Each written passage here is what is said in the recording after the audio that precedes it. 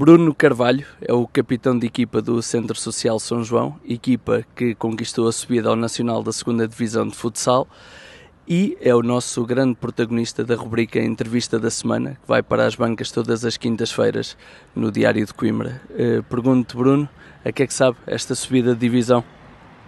Uh, boa tarde. Uh, obviamente que é um, que é um sabor muito bom. Um, ao, fim de, ao fim de alguns anos colocamos de novo o São João no, no lugar que merece. Um, isto tem vindo, tem vindo a ser um, um, uh, um ciclo de, de, crescimento. Nós, desde, desde a altura do, do da reestruturação do, do futsal, um, Uh, nós, nós temos vindo a fazer um campeonato em crescente. Há três anos, que foi na altura que eu, que eu voltei do, de, uma, de uma altura da distrital, um, ficámos em terceiro lugar. Há dois anos ficámos em segundo e este ano uh, conseguimos ficar em primeiro. ou seja, aqui também se mostra o bom trabalho que tem sido, tem sido feito, apesar de, de, de uma divisão abaixo, no, no nosso entender, no São João. Um,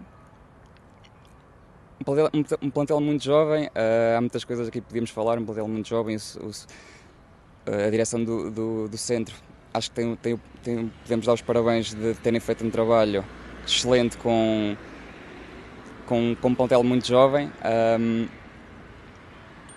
ah, adicionado com dois ou três jogadores com mais, com mais experiência, é que é o meu caso. Um, mas, uh, mas acho, que, acho que a direção do centro está de parabéns. Uh, obviamente uma, uma palavra para o Cid que é que ao, mesmo tempo que é treinador é, é vice-presidente da instituição, é, é coordenador da formação, é muita coisa ali. Um, e depois é, obviamente é a forma de, é a forma de trabalhar naquela, naquela casa, acho que, acho que é, são, é o juntar de muitas coisas e acho que no final acho que, acho que chegámos ao patamar que, que o São João merece. E agora na fase de apuramento do campeão, qual é a grande meta do grupo de trabalho? É assim, nós curiosamente tivemos uma reunião ontem para, para, para abordarmos a próxima, a próxima fase.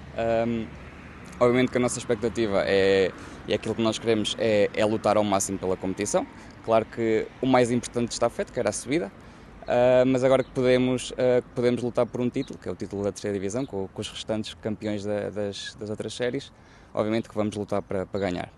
Uh, vamos ter agora duas semanitas de, férias para, para recuperar energias mas a nossa ideia é voltar a 100% em maio, uh, até ao final, até o meio de junho, penso eu, que é quando termina a competição, é, é a 100%.